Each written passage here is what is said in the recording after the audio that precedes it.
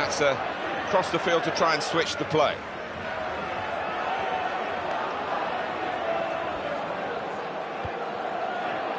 Here he is with a chance, got to be, and he's put it away beautifully.